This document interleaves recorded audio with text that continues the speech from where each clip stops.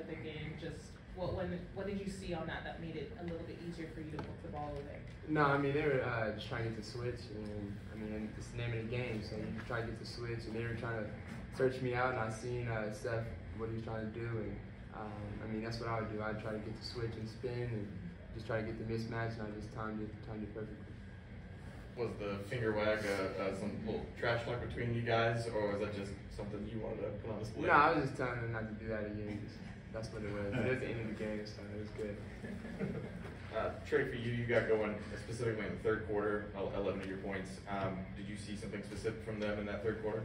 Uh, I mean, no, I mean, we were all scoring. I mean, JC started the game out for us and almost getting 20 points in the first quarter. Um, I mean, so whenever guys are knocking down shots and, and making plays, it just opens the floor that much more. So, um, like you said, in the third quarter, I was able to get, get more shots going, but I six, seven assists in the first quarter because everybody's knocking down shots and making plays. So it just opens up everything else when everybody's making plays. John, I was going to ask you about that earlier in the game. We've seen you working with Kyle over the past couple of days. I'm curious what he's kind of given you as advice to, to maybe help loosen up a little bit. you know, yeah, I call him the Zen Master for a reason. You know, um, just enjoy working with him. Uh, really just talking about my placement and placement on the ball, a lot of mental tips and just things that you know I can go to mentally to uh, lock in. And I'm ready to shoot, and uh, I feel like it's paying off. You know, continue to work with Kyle uh, as we can. You know, he has a big job, but uh, I try. We try when we can. Trae, talk about that fourth quarter, how you guys came down the stretch and finished strong and was able to close it out.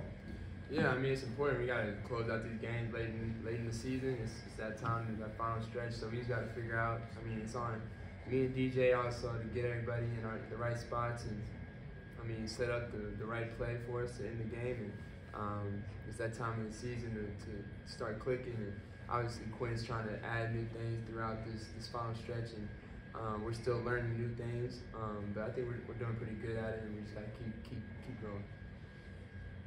I wanted to ask John about uh, your warm up. Usually, right there, Trae bounces you into for you know whatever six o'clock. Uh, didn't seem like you were in the same sort of routine. Did you did you change something up? And you know, given the start you had tonight, did, you like that change? Yeah, it was, it's actually funny you mentioned it live with because I actually came to the locker room and told him, you know, uh, wasn't gonna be out there today, but you know, nothing big, just changed up my routine just a little bit. Um, you know, I'm not a, I try not to be a superstitious guy, but uh, see if it works again the second time. If not, then I'll go back to the normal schedule. But uh,